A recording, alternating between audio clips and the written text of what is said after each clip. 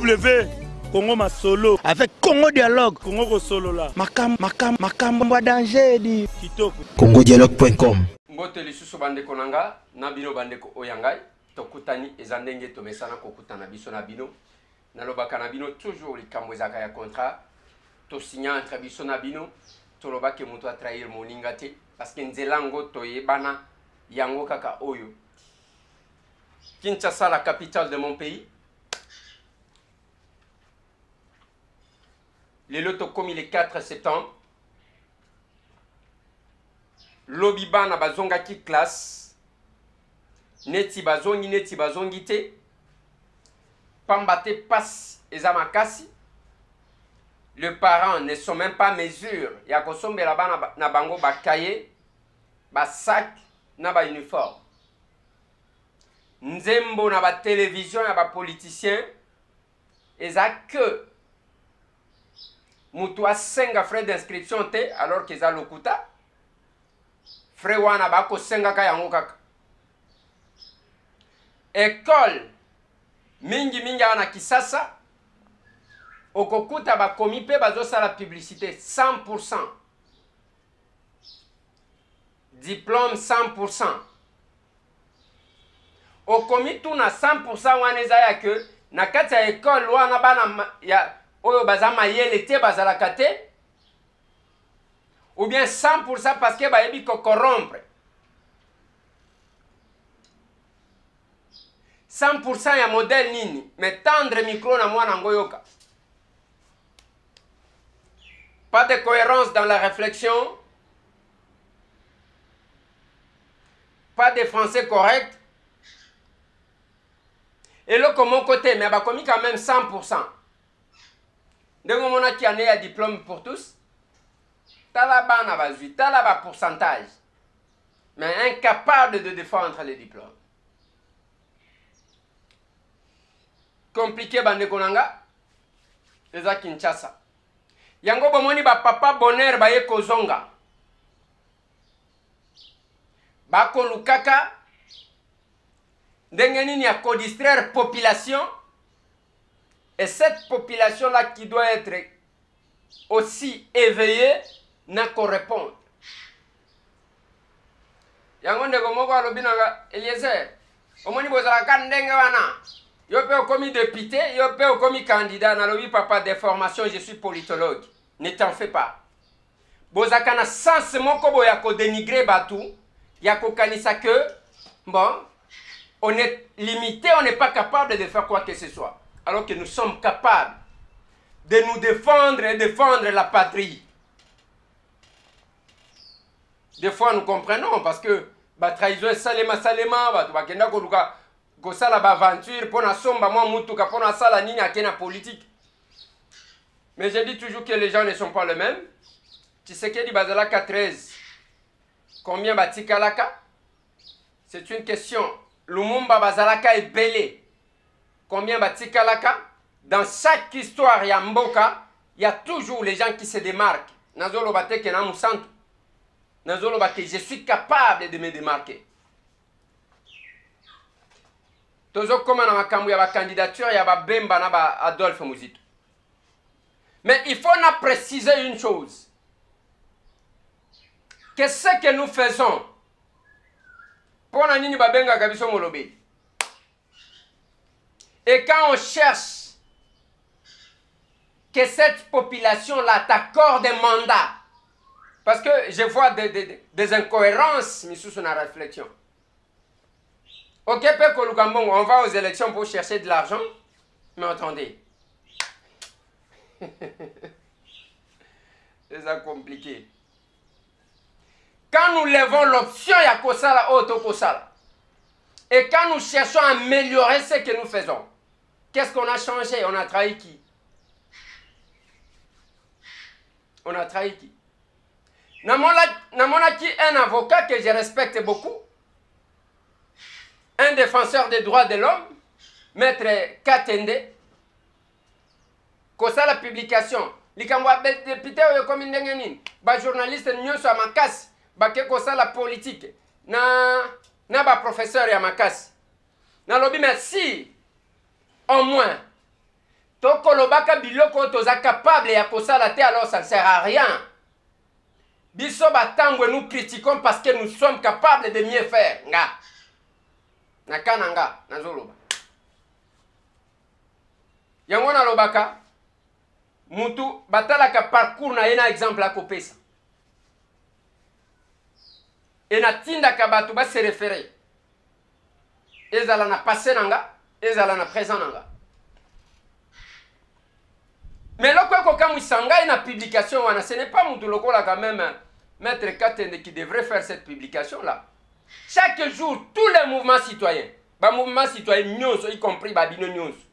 bosopana que pas Martin Fayulu. Martin Fayulu aza nani? C'est un député. Mais qui s'est démarqué na ndenge akosala na ye musala yango wana bo associaka ye na makambo tout.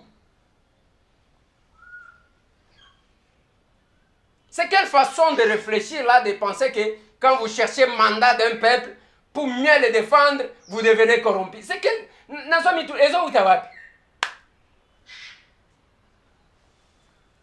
nous avons eu des opportunités, des sollicitations, des nominations. On n'a pas cédé. C'est ça notre personnalité. Mais si nous devons céder par rapport à la sollicitation d'un peuple, je ne pense pas qu'on a trahi. Il faut qu'on recadre quand même moi, boy Tous les mouvements citoyens, tous les membres de la société civile, pour nous faire passer voir dans Bango, dans le Parlement, on cherche qui ba député, Bakena Kosala ba marche kunate, mais vous allez Totiki, allez, on aura un, un parlement soki election yango esalemi parce que c'est encore hypothétique. Un parlement ya ba papi tamba, ya ba makologo tambola, un parlement ya ba nani. Tous ces gens-là, allez, babandi ko voter ba loi et que ces lois-là nous seront posées. Allez, tovandi, tozotala. Je sais que ce travail que j'ai fait, c'est un travail que j'aime beaucoup. Il me sera difficile, vraiment difficile de me détacher de ce boulot. Mon salon dans salle. Mais je pense que on doit chercher à améliorer certaines choses. Je ne suis pas d'avis à ah Batouka, j'ai de touche, mais incapable de faire quoi que ce soit. Monsieur Salobi, le aux on là mwango oyo moto yango asala yango yeah. baélection eza nanu hypothétique certainement la crainte eza d'un côté manque de transparence ya baélection wana De l'autre côté, eza que est-ce que kosalema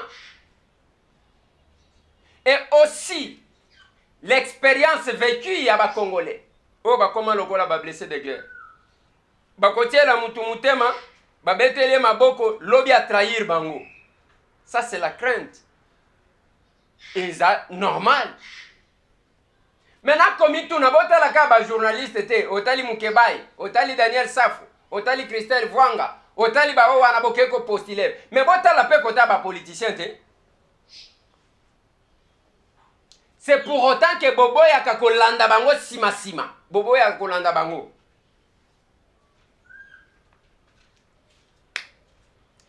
Lambert Mende Omalanga était à l'UDPS. Ramazani Shadari était à l'UDPS. Vital Kamere était à l'UDPS. Donc, batu tout wana ozomona ya ya ba politiciens belé belé bazalaki na UDPS. Mais l'histoire plus récente tozalaki awa toke genval on était à combien bapoliticien mpo na nini boyi kocontourne boye kotya bato nyonso na kitunga moko baolenga nkoi bakomi wapi bafumutoto bakomi wapi ba Jose Makila, ba Jean Lucien Mbusa, ba Steve Mbikai, ba Pierre Kangudia, ba Lisanga Bonganga, ba Ingele Ifoto, ba Papi Nyango, ba, baza combien? Ebele. et vous ne parlez pas de ça on reste là en train d'observer parce que yo koloba soki ndenge nini et on va nous voter des lois oyo bakopose biso ti bakoloba ke ale bobanda kopakola yango oyo ezosalema kele le peuple qui réclame moto moko alobi na ngai wana o oh, ndeko eliezer tokolinga tokosepela na bino te boza bescro bazila azwa biso mongo nalobi toza na kisasa awa Bazil a fait la sortie officielle de son parti awa na fikin tomoni ata 5 personnes ke tokei koreklame bazil aza na nyongo na biso bazil aza awa tosi tomoni ata 10 personnes ya ke bazil aza na nyongo na biso botika makambo ya lokuta ya pamba soit eza lokuta bokokosaka bato soit boyebi droit na bino te c'est ça baoyo bakoyambaka tout ce genre du pprd eza banani baoyo bakoyambaka bato nyonso oyo eza banani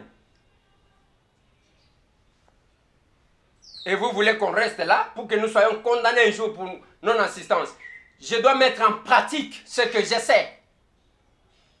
et c'est pourquoi j'ai levé, levé cette option là ten wana ezalaka baoyo wana le reste batu bazapaka na nsima na yango tosali mwa tour me eloko nalobaki avant yango nakoloba lelo botala modèle nini yango un leader congolais aloba ke nalembi makambo ya politike ya congo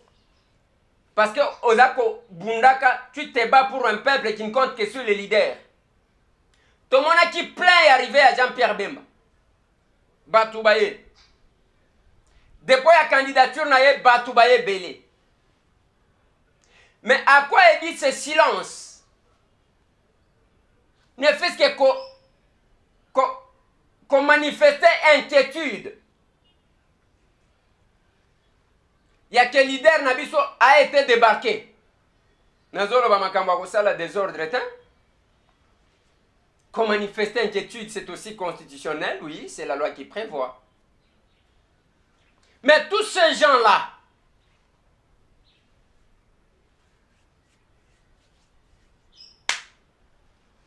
comment est la situation à Gemena euh, compliqué me tokomi na ngonga oyo bandeko na nga bato bakokitaka na loso na mwa saki kolakisaka ebana bakende klase moto azwi tumwa sake misato mi, mina apesi na bato e nous nous devons laisser ça ale parce que yo okoloba ke olobi élection ake élection eliezer ake élection akomi kolabo yo kala nyonso tu awa ondimaka nga ubien kaka lelo nde olingi nayeba ke yo ondimaka nga ezo swa yo pona nini yo ndimaka nga te nga naza kolabo depuis ezo swa yo siko po ani omoni ke boyebi eloko nini bokoluka te zuwa e, ekomisaka mutu na suka te ememaka mutu liboso te zuwa ya pamba on n'est pas des rancuniers on n'est pas des conflictuels mais on se dit tout simplement totambolaka na ceinture de redressement même nyonso na koloba oyo il faut bonyoloka olie ya kovanda na lokuta modèle wana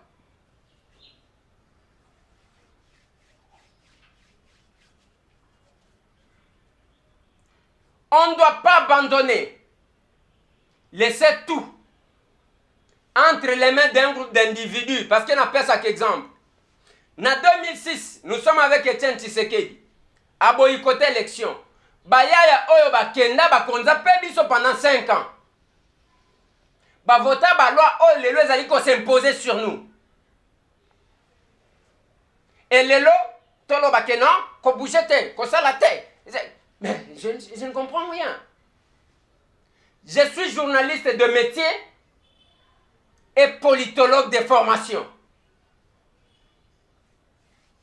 lelo toali awa jean pierre bemba ozomona carrière ya jean pierre bemba tozwa carrière ya adolphe muzito balongoli bango na cour constitutionnelle moto akokotisa lisusu recours eza te donc bakozala bakandidat te na élection oyo kinshasa yango elamuki calme te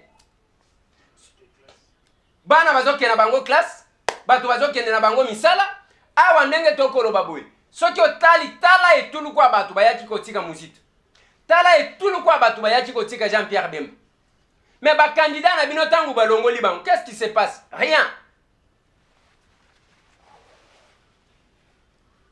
alors on doit laisser comme ça demain on aura un parlement oyo ya bapapi tamba ya banani mosusu bato ebele ebele oyo batondi tondi awa et qui vont nous voter des lois oyo bako imposele biso parce que bino bolobi mo ngai nakotikala nazobelela nazobelela napesaka bino exemple moko tokenda na terrain plz parce que bokolimbisa ngai mpona baexplication wana parce que c'est important me nakozongela yango lisusu te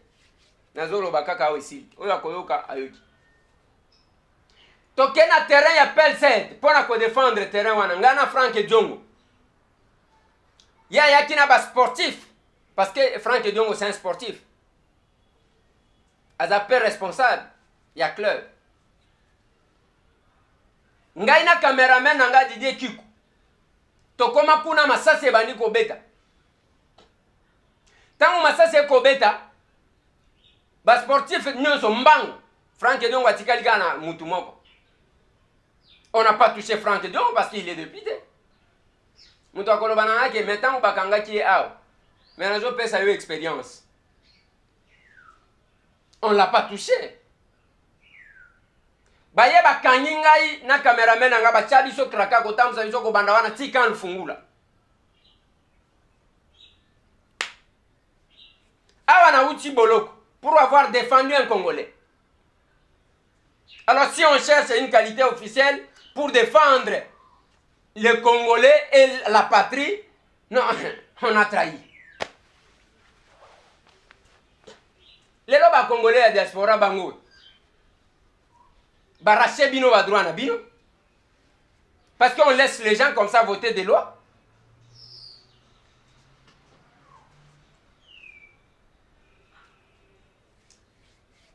Compliqué. Quelle sera la position du MLC Quelle sera la position d'Adolphe Muzito oyo toyoki ke lobi bakutanaki na katumbi bazalaki na séance de travail kuna na bruxelles bakokutanaka kutanaka kuna Felix Antoine Tshilombo Tshisekedi. Mais nakosengaka bino boye ndenge bozokutana wana parmi ba préoccupation na ba revendication rapatriement ya corps ya Etienne Tshisekedi pamba te na campagne électorale moto akosimba kombo na ye te moto akotanga akosimba foto na ye te parce que wana ekozala problème susu Ouais. Soki nous allons aux élections, soki esalemi, soki toke na élection, Tshisekedi akundami te, moto akotanga nkombo na ye na kampanye akozala te, moto mpe akoutilize foto na ye na kampanye akozala te.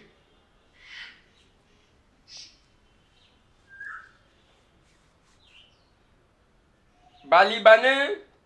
oyo bakolo usine oyo ebomaki bato na Limete baza encore très fort. Tozoyoka ke balingi bare ba réhabiliter yango, ba réouvrir yango, quelles que soient les conditions.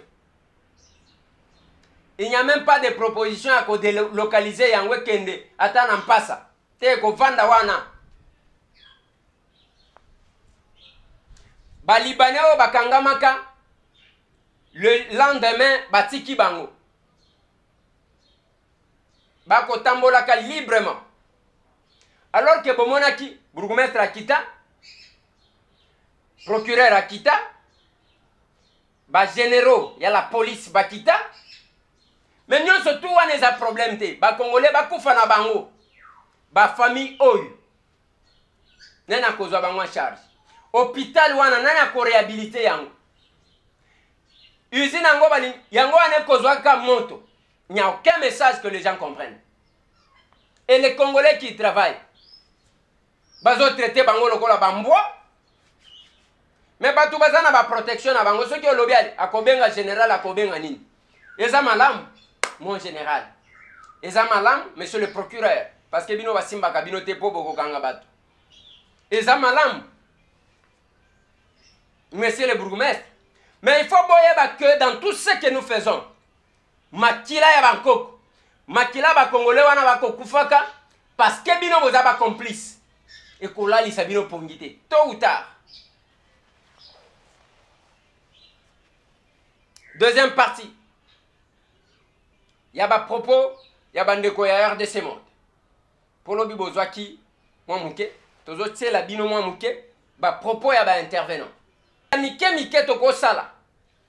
Mais ya minene ça mettant nos efforts ensemble. Ndenge tokoloba boye rentrée scolaire.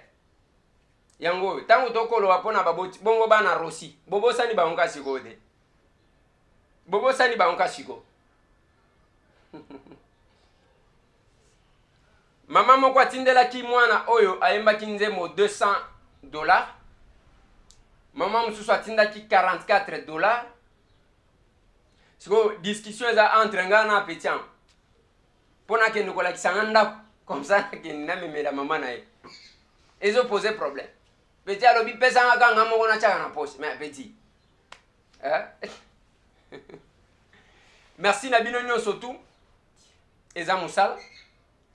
sans votre soutien on, on ne vaut rien mais avec votre soutien nous pouvons changer yango nakoloba na bandeko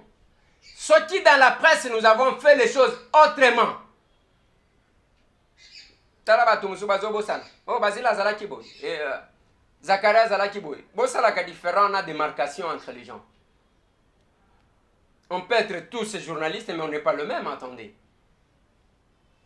tosalaka makambo ndenge moko te c'est la même chose na bapoliticien yango natunaki maître Katende, nalobi Jean Claude Katende, maître. Mais tongo bomataka bokitaka na Fayulu aza nani pour faire passer les lois. Oh loi, yo en tant que juriste bokobanda ko défendre. Il faut les gens capables de faire voter des bonnes lois. Ale totikala kaka ndenge wana ale oh, bomati ale boorganiser manifestation ok ya nani ndeko oyo ayembaki nzembo aza wapi Tokotika espace, bako voter loi ya kofina biso bien, bien, bien, bien. Et qu'est-ce qui va arriver? Et la manifestation, les manifestations et la revendication. Elle est organisée à 50 personnes, 8. Et après, je pense qu'on doit cesser avec euh, Batéa et on doit prendre au sérieux les affaires congolaises mwasi ça ne dépendait que de moi soki élection yango ekosalema ndenge il falaki tokota yango kutu ebele tomultiplie batémoin tokangi bango on voit un parlement où maître jean claude katenda aza wana maître euh, euh, kapiam georges aza wana mais tous ces gens qui défendent les droits de l'homme capable lelo maître mbuyu directeur de cabinet ya chef de l'état azalaki nani défenseur des droits de l'homme te bozalaki na ye te merci botikala branche